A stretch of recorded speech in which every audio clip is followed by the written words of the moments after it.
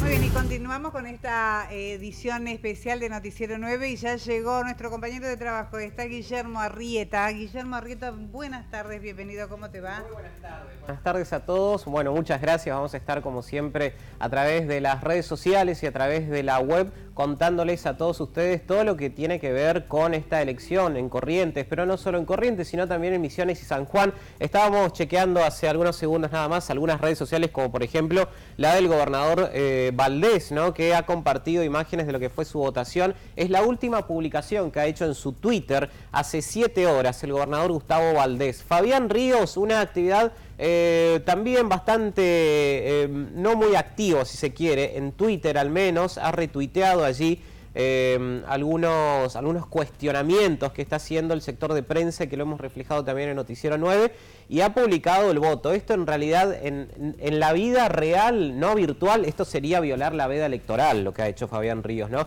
Pero como en, Twitter no está muy bien regulado esto, o no está para nada regulado en realidad, se puede hacer, ¿no? Y eh, Martín Barrio Nuevo también es un candidato eh, opositor al oficialismo ¿no? de Eco Cambiemos. Eh, ha publicado un video, ha retuiteado en realidad un video de cómo se vota en Corrientes, que fue uno de los grandes cuestionamientos que se ha hecho en esta elección. La enorme cantidad de boletas que había cuando uno entraba a ese cuarto oscuro que tenía que entrar a elegir, a ver y a buscar en primer lugar si encontraba el voto y entre todos esos que ustedes ven allí tal vez encontraban al candidato que querían elegir. Exacto, sí, por la, cantidad de alianzas que hay que integran. Lo, que pasa es que hay alianzas, por un lado, mm, alianzas que llevan, o partidos que llevan mm, concejales mm, o candidatos a concejales propios, pero acompañan eh, la lista de diputados y senadores del de, eh, radicalismo, por ejemplo, el Frente para la Victoria. Eso es un poco lo que lo que decíamos, son seis frentes electorales, pero a su vez hay varios partidos políticos que llevan candidatos propios y otros que acompañan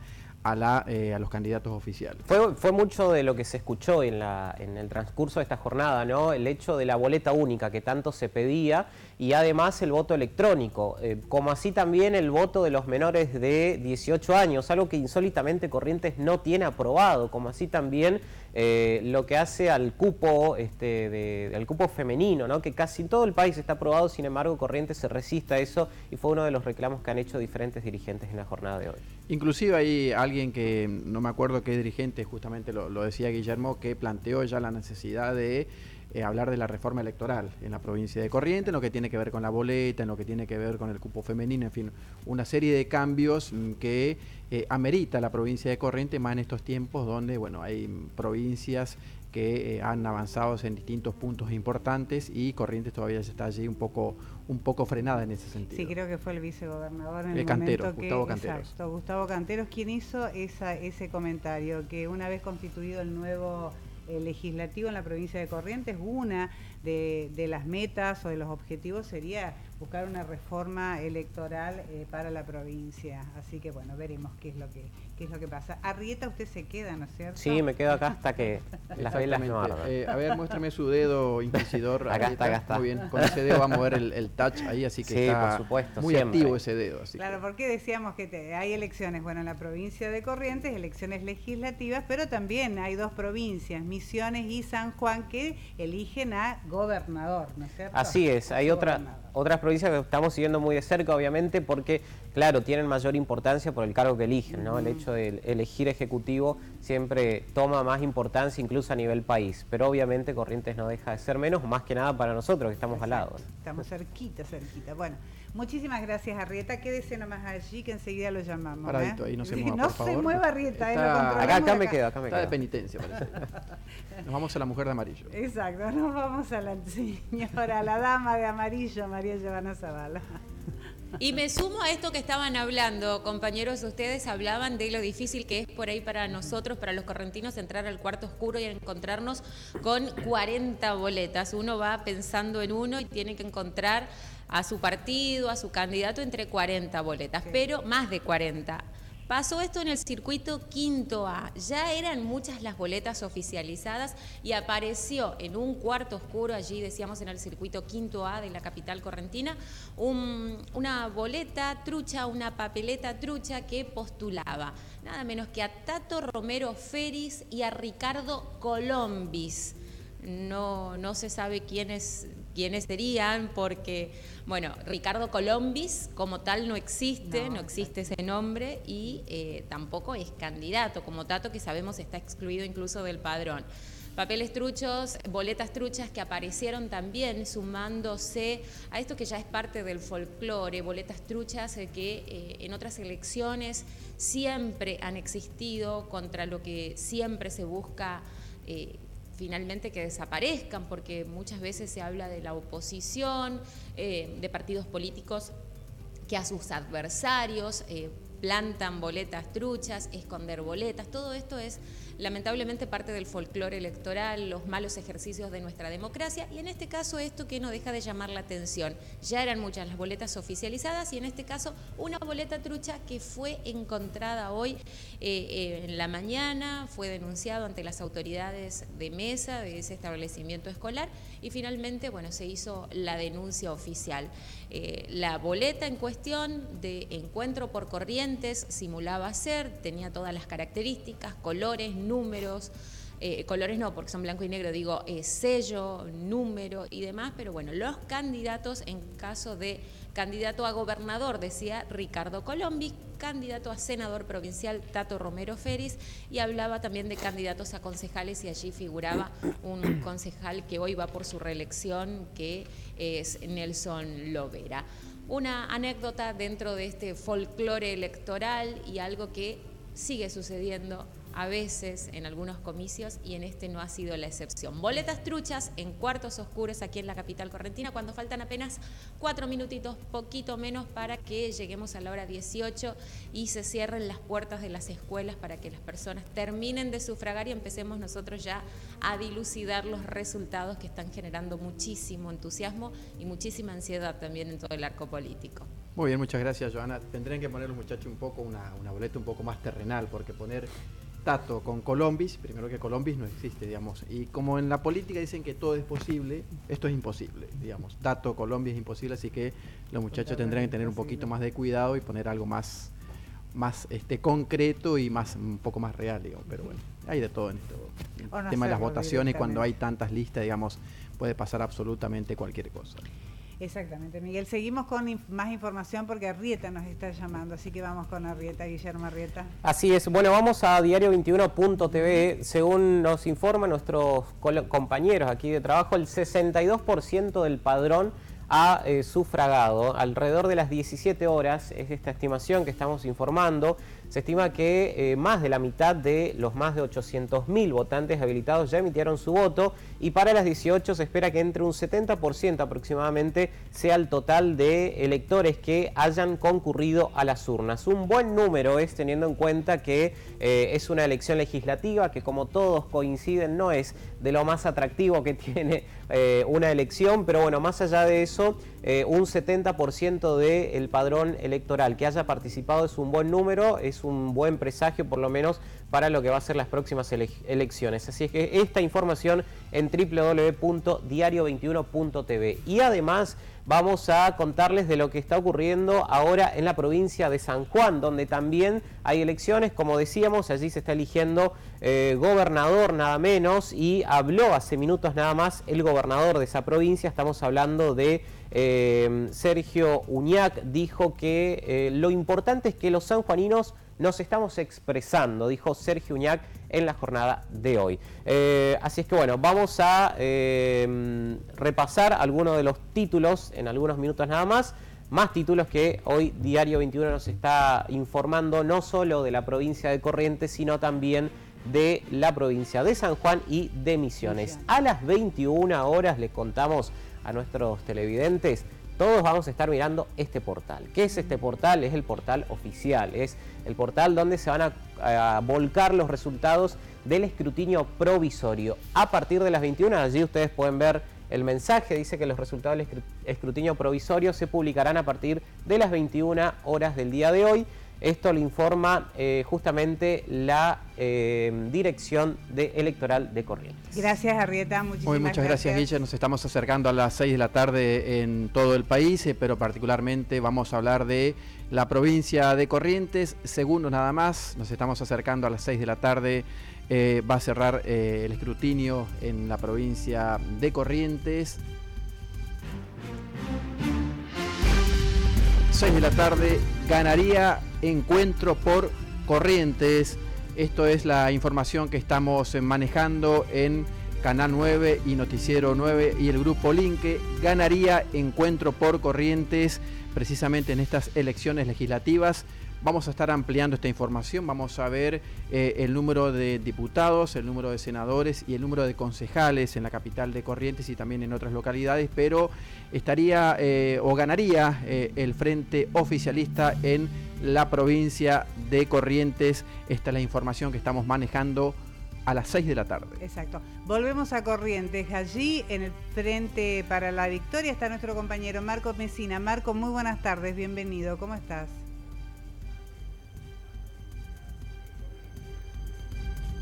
¿Qué tal? Buenas tardes, Elsa. Buenas tardes, Miguel, allí en los estudios centrales de Noticiero 9 en Resistencia. Como bien, efectivamente, vos estabas diciendo, aquí estamos, en el búnker del Frente para la Victoria, en el centro mismo de la capital de la provincia de Corrientes. Recién ha finalizado oficialmente lo que es esta elección, teniendo en cuenta que eh, son ya las 6 de la tarde y un minuto pasaditas en toda la República Argentina. Y eh, estuvimos verificando algunas escuelas, viniendo justamente para aquí, para este búnker. Algunos rezagados, obviamente, que venían ya con mate, la costanera, algunos justamente a último tiempo, ¿no? Ir a las urnas y a votar justamente en estas elecciones de medio término aquí en la provincia de Corrientes. Aquí estamos en este búnker ubicado sobre calle Irigoyen, decíamos en el centro mismo, en el corazón de la capital de la provincia. Y aquí está, bueno, todo preparado ya, ¿no? Como para que eh, de a poquito empiece a comenzar las primeras, a llegar las primeras personas a este búnker. Todavía muy poco movimiento, por supuesto, porque son recién las 6 de la tarde. Pero bueno, esto está seguramente dado para que a partir de las 7, 7 y media nos iban comentando de que comenzarían a llegar los primeros candidatos, obviamente, y por supuesto el primer eh, público ¿no? a esta zona de la capital de Corrientes. Obviamente vamos a manejar toda la información que tiene que ver con los candidatos, tanto a concejales como a diputados y senadores de la provincia de Corrientes del Frente para la Victoria aquí en este búnker. Así que eh, cuando ustedes lo dispongan, nosotros vamos a estar saliendo a menudo desde aquí, por supuesto desde la capital de Corrientes, hacia todo el nordeste argentino. Muchas gracias Marco. Reiteramos la información que dimos a las 6 en punto de la tarde. Ganaría encuentro por corriente las elecciones legislativas. Hablan o se habla y tenemos datos de un triunfo contundente del eh, frente oficialista en la provincia de Corrientes e inclusive de un triunfo contundente en la capital de Corrientes.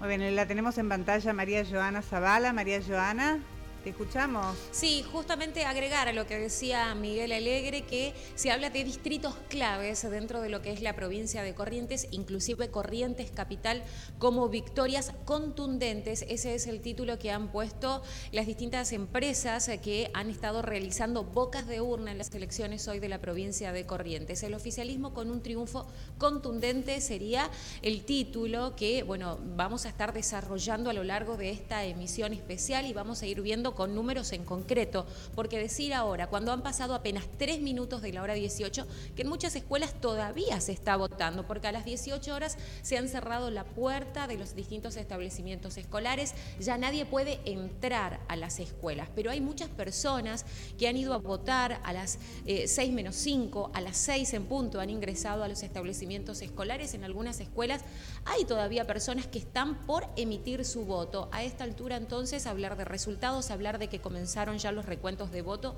es muy apresurado. Estamos hablando de resultados eh, que estarían arrojando los bocas de urna, dando una victoria contundente al oficialismo. En distintos puntos de la provincia de Corrientes, una marcada diferencia también a favor del oficialismo aquí en la capital provincial, pero números que todavía no están eh, definidos, si se quiere, porque hay personas que han concurrido a votar en los últimos minutos, hay en escuelas donde todavía hay cola colas, hay personas que están esperando poder entrar al cuarto oscuro. Así que las urnas todavía están vigentes para muchos. En minutos nada más vamos a comenzar a tener las primeras mesas de las primeras escuelas con resultados que serán provisorios. Perfecto, María Joana, muy bien, muchísimas gracias. Y sí, exactamente, muy prudente lo que dice María Joana, es de esa forma, es así. Siempre ocurre en, las elecciones, hay gente que va a último momento, eh, una vez que está en el establecimiento, tienen, por más que haya superado el horario, se tienen que emitir eh, el voto todas estas personas. Sí, eh, siendo tan compleja la elección por la cantidad de boletas, también yo estimo que el envío, el control y demás llevará su tiempo. Así es, igualmente, según, de acuerdo a los antecedentes que tiene Corrientes en cuanto a elecciones, la cuestión de la página oficial del juzgado electoral eh, es, muy compleja, digamos, suele llegar muy tarde los datos oficiales, por allí se manejan datos de eh, escuelas, de localidades particularmente, como suele ocurrir en distintas elecciones, pero particularmente corriente es muy complejo el tema del recuento provisorio de votos, por eso en instante nada más vamos a estar con María Mercedes Vázquez, con Radio Mitre, que tiene contactos en todo el interior provincial, así que vamos a estar también con esos números, por lo menos hasta el momento no oficiales y, este, y provisorios, y eh, veremos también los números eh, finales de, este, em, de estas elecciones en la provincia de Corrientes. Y en instante nada más eh, con el análisis fino, el análisis político tanto de Diego Merlo como también de Marcelo Rubiolo porque se habla de muchas eh, cuestiones que tienen que ver con un plebiscito que están haciendo en estos momentos, están plebiscitando la gestión tanto de Valdés por un lado como también de Tazano en la capital de Corrientes. Así es, muy bien. Nos vamos nuevamente con la información que nos llega de la mano de Guillermo Arrieta. Bueno, y ahora a través de las redes sociales se está replicando un poco lo que ustedes anticipaban a las 6 en punto. Miren esta publicación. Ha ocurrido también en la última elección a gobernador. ¿Eh? segundo, después de las 18 horas, eh, cuando Gustavo Valdés fue electo gobernador de Corrientes, apareció una imagen muy, muy similar a esta, con la cara de Valdés, obviamente, en su momento. Ahora dice esta imagen, Gracias Corrientes ganó eco, dice el tuit de Encuentro por Corrientes, ¿no? Es una cuenta oficial de eh, justamente Encuentro por Corrientes, el frente que lidera el gobernador Gustavo Valdés, el oficialismo en definitiva, y ha publicado, acaba de publicar esta fotografía, esta imagen, gracias Corrientes, ganó ECO. Bueno, indudablemente alguna información interna ellos deben tener para poder estar tan seguros y poder dar esta noticia, tal lo habíamos anticipado hace algunos segundos. Un dato no menor porque además fue replicado incluso por el propio Gustavo Valdés. Ahí vemos que le ha puesto un me gusta, así es que eh, tiene ya el aval del gobernador correntino. Muy bien, vamos, vamos a ver también qué, pasa en, las localidades. Hay localidades eh, claves e importantes, Segoya, Ituzaingó, Mercedes. Mercedes. Mercedes particularmente porque allí estuvo trabajando intensamente el ex gobernador y actual este, senador Ricardo Colombi, un distrito clave, un distrito que ha tenido algunos, em, algunas cuestiones por allí extra políticas y que eh, ha envuelto en un clima bastante mm, particular la localidad de Mercedes. Así que vamos a estar en instantes nada más con, eh, con los datos de esas localidades claves e importantes para, para estas elecciones de término medio. Exactamente. En instantes nada más vamos a tener esa información y reiteramos que vamos a tomar contacto con distintos puntos en la ciudad de Corrientes donde están instalados nuestros colegas, nuestros compañeros de trabajo en los búnkers de los principales frentes, de las alianzas, este, eh, para conocer toda la información que se vive directamente en ese lugar. La vemos nuevamente en pantalla María Joana. María Joana, este, si contás con alguna información, te escuchamos. Adelante. Sí, estamos todos expectantes y vamos a repasar quiénes son los legisladores que están por abandonar ya sus mandatos el próximo 10 de diciembre. Reiteramos que son 15 de los diputados que estamos eligiendo en la jornada de hoy, 5 senadores, además de concejales, y esta información nos remite a www.diario21.tv, donde está la nómina de quiénes son los legisladores que justamente están culminando su mandato este 2019. En el caso de los diputados tenemos José Fernández Afur, de ELI, Encuentro por Corrientes, Pedro Casani, quien es el actual titular de la Cámara de Diputados de la provincia de Corrientes, el diputado Adrián Gaya de la Unión Cívica Radical, Geraldine Calvi también del oficialismo, Héctor López, Jorge Molina, todos del oficialismo, Alicia Locatelli, representante del Partido Justicialista, al igual que Alberto Jardín, César Acevedo, Giró, Martín Barrio Nuevo, Ernesto Meisner, Oscar García del Partido Nuevo, Javier Sáez de el Partido Popular y Analía Bestar de Proyecto Corrientes. Son los 15 diputados que terminan, cumplen su mandato el próximo 10 eh, de diciembre, van a ser reemplazados ya por los legisladores que estamos eligiendo hoy los correntinos. Pasamos a la Cámara Alta, son cinco los senadores que estamos renovando en la jornada, los senadores cuyos mandatos culminan ya este año son Graciela Rodríguez de la Unión Cívica Radical, Proyecto Encuentro por Corrientes, Nora Nazar del Partido Nuevo, Mario Bofil del Justicialismo, Rubén Suárez, quien... Eh, conforma lo que es Encuentro por Corrientes, y Roberto Miño, quien es senador del Partido Justicialista. Cinco senadores, además de estos 15 diputados. Y en el caso de concejales, decíamos en 53 municipios se están renovando parcialmente los consejos. En el caso del Consejo Capitalino, terminan su mandato Alfredo Vallejos, Florencia Ojeda, Norberto As, quienes son todos de la Unión Cívica Radical, el oficialismo en el municipio capitalino.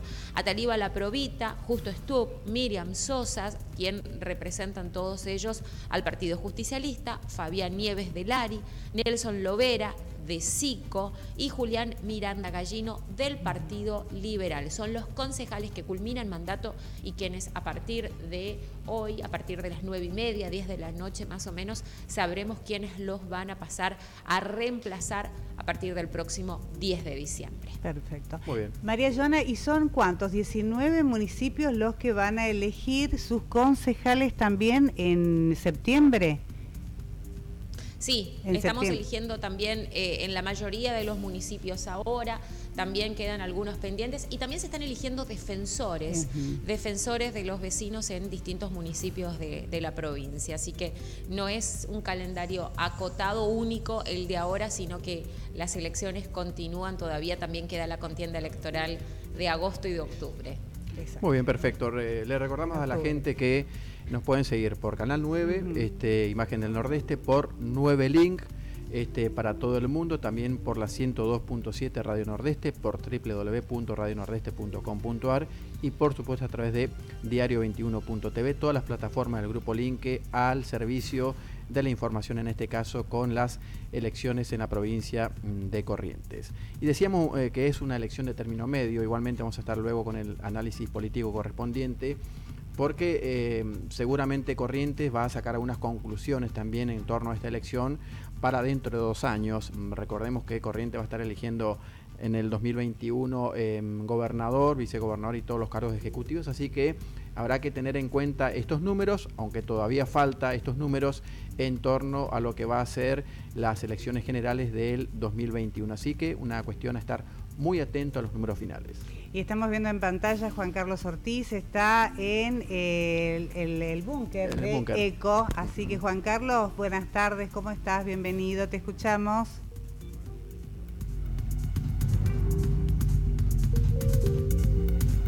¿Qué tal? Muy buenas tardes, ¿cómo te va Elsa? Buenas tardes Miguel, buenas tardes Joana, en el estudio central que tiene Canal 9 aquí en la ciudad de Corrientes, en Quintana 727. Como bien decía Elsa, estamos aquí en la sede del Partido Radical donde hace búnker el encuentro eh, por Corrientes. Precisamente es 25 de mayo al 1230 entre Mendoza y Córdoba. Aquí eh, van a seguir los, todas las sensaciones, todas las últimas noticias de estos comicios legislativos que se está desarrollando aquí en la ciudad de Corrientes.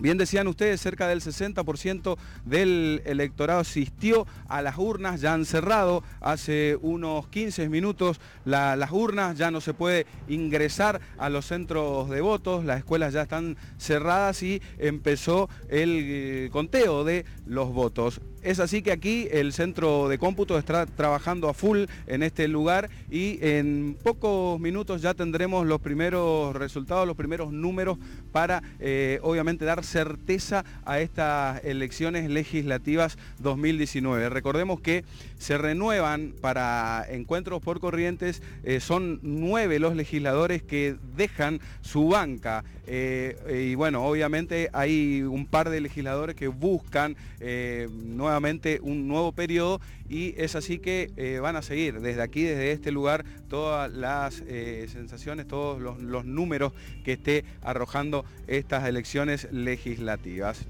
Recordemos que son 15 los diputados que elegimos los correntinos, son 5 los senadores que elegimos y aquí en la capital de Corrientes eligen 9 concejales. Muy bien, muchas gracias Juan Carlos allí en el eh, búnker de eh, Encuentro por Corrientes por eh, en calle Mayo, en la capital de Corrientes. Y recién decía Joana acerca de estas boletas truchas que aparecieron, por ejemplo, la que decía Ricardo Colombis, Ricardo Conca y Tato Romero Ferri. También una boleta del muñeco Gallardo apareció, con la Supercopa Argentina allí, el muñeco sonriente en una de las mesas de una escuela de la capital de Corrientes. Así que tantas boletas, Da para todos los da, da para todo. Muy bien, eh, volvemos con Guillermo Arrieta que tiene más información. Bueno, tengo otra insólita. Eh, miren esto, miren esto, a ver. Cobraba 10 pesos para consultar dónde tenía que votar. Eh, el, que, el que no trabaja no es porque no tenga, sino porque no quiere, dice el dicho, ¿no? Sepa dónde vota 10 pesos, dice esta imagen que se ha viralizado en la ciudad de Corrientes. Fue tomada esta fotografía y que ha recorrido todas las redes sociales, insólitamente, ¿no? Eh, eh, parece que te pedían, bueno, obviamente, el DNI para poder saber este, de quién se trataba, ingresaban al padrón electoral y allí te decían dónde tenías que votar. El kiosquero amigo de la cuadra, dice, eh, decía ¿no? el texto que acompañaba esta imagen en el barrio Sol de Mayo de la ciudad de Corrientes. 10 pesos para saber dónde votar, otra de las postales insólitas que ha dejado la elección de Corrientes. No me olvido igualmente aquel, aquel cuarto oscuro montado en un baño. ¿Ustedes recuerdan esa foto? También. Realmente increíble. Bueno, eh, dejamos un poco lo insólito, vamos eh, a lo serio. Culminó la elección en Corrientes, el oficialismo obtendría la victoria. Reiteramos esta información que vamos a conocer a las 18 horas. El triunfo sería marcado en Corrientes. El oficialismo se impondría por eh, mayoría ante sus contrincantes electorales, de acuerdo a los primeros datos que han trascendido y que lo ha difundido el propio Eco Cambiemos a través de las redes sociales. Y de Corrientes nos vamos rápidamente a San Juan, donde UñAC obtendría la reelección como eh, gobernador de esa provincia y Marcelo Orrego quedó en segundo lugar. Muy bien, esto es lo que tiene que ver con es un poco lo que anticipamos a las 6 en punto de la tarde de la eh, victoria que sería de encuentro por corrientes, eh, pero este, todo está supeditado a los números oficiales, pero ganaría entonces encuentro por corrientes en estas elecciones legislativas. Y em, acerca de la, de la cuestión del, de la cantidad de, votantes también vamos a estar muy atentos porque eh, han insistido mucho los dirigentes políticos de que la gente concurra a votar, de que cumplan con su deber cívico, con su derecho a votar. Eh, se habla de un, entre un 60 y un 65% de, del electorado que concurrió a las urnas, pero habrá que esperar porque, como decía hace un instante nada más María Joana, hay todavía gente en las escuelas haciendo colas como para eh, emitir el sufragio. Una consulta con relación a este tema para Guillermo Arrieta. El hecho de no concurrir a votar en estas elecciones legislativas, ¿qué sanciones tienen Arrieta? Bueno, en términos generales las sanciones siempre son eh, parecidas ¿no? en todas las provincias. Pueden ser multas eh, en pesos, generalmente no superan los 100 pesos las multas. Y lo que a veces te pueden llegar a traer inconvenientes a la hora de hacer algún trámite oficial. ¿no? Al, estar registrado como que no cumpliste con el deber de votar te puede llegar eh, a costar algún tipo de inconveniente a la hora de renovar un DNI o hacer un pasaporte, por ejemplo. te exigen eso y si no, no lo podrás hacer o deberás abonar allí una multa. Eh, no se ha aplicado esto en, los últimos tiempos, hay que decirlo, aunque en las últimas elecciones sí se han impuesto multas y se han cobrado muchas de esas multas, pero eh, es un monto eh, pequeño, irrisorio. Sí, irrisorio aparte, en las, cuando estaban la, cuando teníamos las elecciones paso aquí en la provincia, si no votabas en las pasos, no estabas habilitado a votar después en la provincial, en la general. En la general, así es. En este caso no, no, no, no, no, impide. No, no, en absoluto, en absoluto. Bueno, muy bien. Recordemos que eh, Corrientes tampoco tiene paso. No, solamente elecciones generales. Eh, otra de las cuestiones que seguramente se van a estar analizando en un futuro en lo que tiene que ver con el tema de la mm, reforma electoral. Muy bien, exactamente. Ya en instante vamos a estar con, nuestros móviles también. Está Marcelo Germán Insaurralde recorriendo los principales puntos de la capital de Corrientes. Precisamente nos vamos a hablar con eh, eh, Marcelo Germán Insaurral, director de Radio Nordeste, que está allí también eh, trabajando palmo a palmo con nosotros en lo que tiene que ver con estas elecciones provinciales en Corrientes. Marcelo, buenas tardes, ¿cómo te va?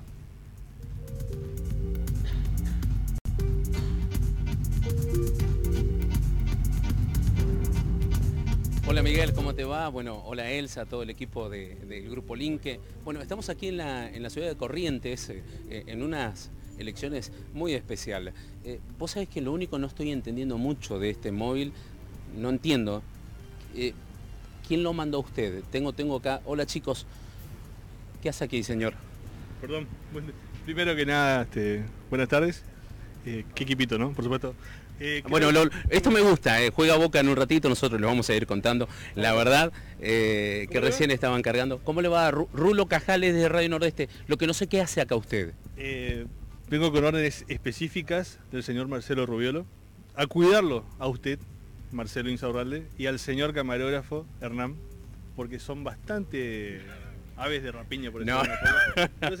no, creo, no creo que Marcelo Rubiolo lo haya mandado a usted a cuidarnos. Los dos Rubiolo me han mandado, en especial Marcelo, así que cuidadito y ojo y a portarse bien, por supuesto. Y también vengo haciendo, justamente aprendiendo lo que es el tema del periodismo hablando con la gente, charlando un poquito. Este, la gente me admira, me pide autógrafos, pero también vengo a hablar un poquito sobre lo que son estas elecciones, como el punto de vista del periodismo, ¿no es cierto? Aprendiendo con usted y los pocos que yo creo que esa es la clave del periodismo y, justamente es la idea que nos ha dado el Grupo Link, es decir, estar con la gente, ver las sensaciones de la gente. Si vino para eso, me gusta la idea. Viene para eso también y por supuesto y, recolectando muchas opiniones de la gente. Y eso es importante. ¿Qué dijo la gente, el correntino cuando vino a votar? ¿Qué, qué, sensaciones vio? Vi sensaciones variadas, ¿no? que están con ganas de votar y otros que bueno, vienen por obligación. Y tengo algunas este, anécdotas también si quiere para contar. ¿Qué le dijo la gente? ¿De los políticos? Bueno, mira, eh, me han contado algunas cositas, algunos este, chistes, por decirlo de alguna forma, si usted quiere. Por ejemplo, me han dicho eh, que hay un, candidato, no importa el nombre, dando vuelta por ahí, que está este, preguntando, ¿no es cierto? Que dice, a ver, que, vamos a lo, a lo concreto, ¿qué es una persona con el 4% de coeficiente intelectual? El 4% de coeficiente intelectual es muy bajito, es muy bajo, ¿no, chicos? Eh, ¿Qué es una persona, con, el 4% de coeficiente intelectual? Un candidato. No, no. Un candidato. Así no, la gente me lo ha contado, sí, sí, sí. Ojo. Portese bien. No, no, y hay otra persona que también han dicho de buena fuente que hay un candidato que usa la, si quiere, el eslogan de decir, bueno, eh, dice, bueno, yo he consultado con la gente, la gente está contenta, dice que se levanta todos los días con ganas de trabajar y que duerme, sobre todo a la noche, duermen como un bebé de tres meses. Ah, está tranquilo, duerme como un bebé de tres meses, es una buena noticia. No, no, se levantan cada tres horas llorando por hambre. No, no, no, váyase, váyase por Dios, váyase.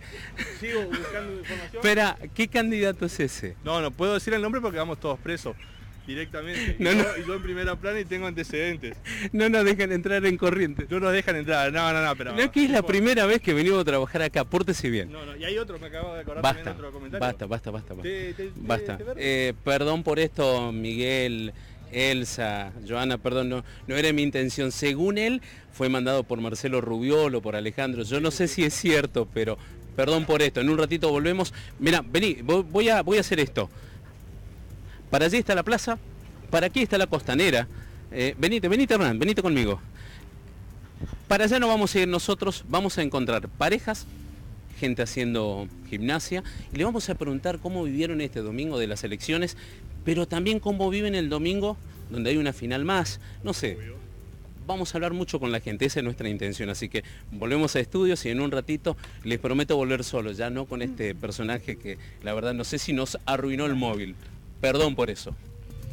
Muy bien, muchas gracias Marcelo Insaurralde, allí con Rulo Cajal en, la capital de Corrientes. Marcelo Insaurralde trabajando con un grupo importante de personas allí en ese, en ese móvil que está pululando las calles de Corrientes. Con toda la información allí, un poquitito de, distensión también, esperando los resultados de esta elección que reiteramos terminó a las 18 horas, que eh, de todas maneras había establecimientos educativos en los que todavía la gente eh, estaba esperando para poder emitir su voto, que el porcentaje porcentaje de votantes en este caso, en esta elección, habría llegado aproximadamente al 60%, pero generalmente en este tipo de elecciones que son denominadas elecciones de medio término, elecciones legislativas, donde no hay este, una elección de gobernador, de intendente, ese porcentaje más o menos es el que habitualmente se maneja.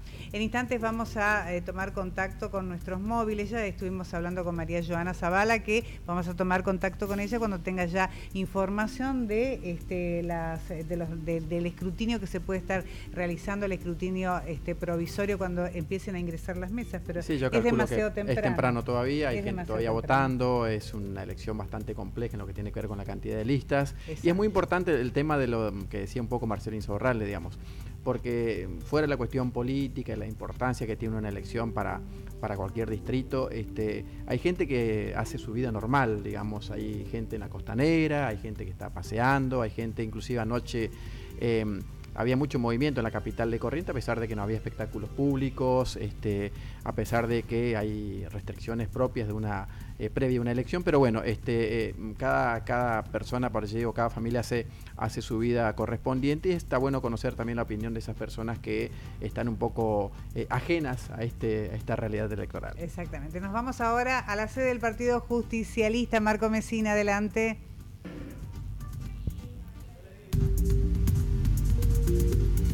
Muchísimas gracias, Elsa y Miguel, desde Estudios Centrales de Resistencia. Aquí seguimos en el búnker del Frente para la Victoria, ubicado por calle Irigoyen, aquí en la capital correntina. De a poquito comienza a moverse un poquito más esto. Están comenzando a llegar los primeros militantes, los primeros ayudantes y, por supuesto, también aquellas personas de la política. ¿no? Estamos con eh, Ruiz Aragón, quien es diputado nacional por Unidad Ciudadana de la provincia de Corrientes. ¿Qué tal? Buenas tardes y, bueno, los primeros eh, boca de urna, de a poquito, muy de cuentagotas en toda la provincia.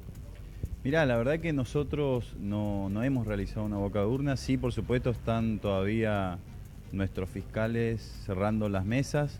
Eh, tenemos que hablar que Capital, la mayoría de las escuelas son escuelas con muchísimos votantes, así que se va llevando con mucha, con mucha tranquilidad y con mucha precisión. Y además, también hay que decirlo, en un sistema político eh, muy, muy antiguo, donde cada partido político tiene una boleta y estamos hablando de que Encuentro por Corrientes, ECO, eh, Cambiemos, tiene 25 boletas y los otros frentes eh, más o menos no más de, de 15 entre todos. Entonces el escrutinio definitivo termina siendo una complicación y por supuesto abre a la repregunta de empezar a discutir entre todos un nuevo sistema político que le dé más claridad, mayor rapidez al resultado final y por supuesto un debate que permita que toda la sociedad participe. Bueno, los correntinos a la hora de entrar a las urnas en el día de hoy, cerca de 40 boletas se encontraban en cada una de las mesas.